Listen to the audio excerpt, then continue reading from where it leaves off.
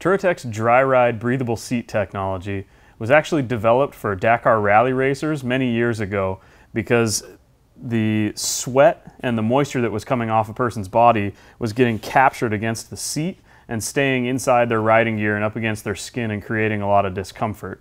Touratech's patented DriRide technology is actually made up of three different components. The special piece here is in the middle. This is called the vapor flow barrier. It's an area in the seat that allows air to really freely pass in between the seat cover and the foam.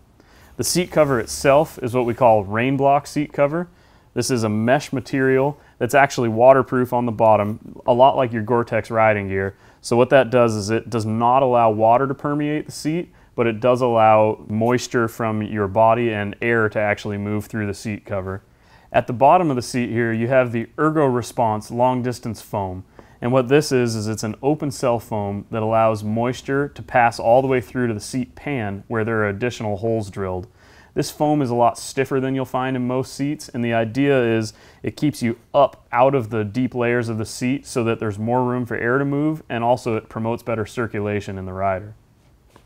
A lot of people will spend a lot of money on a Gore-Tex riding suit, and Gore-Tex is fantastic because it allows moisture to breathe out, but if you're sitting against a seat that doesn't allow your gear to breathe, then the gear isn't breathing.